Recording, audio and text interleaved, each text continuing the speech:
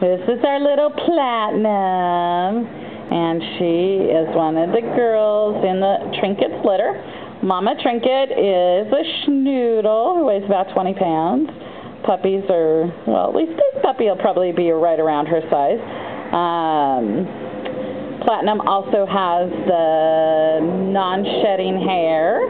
Um, that's good for those who don't want to clean up, but will require gr regular grooming. Hi, puppy!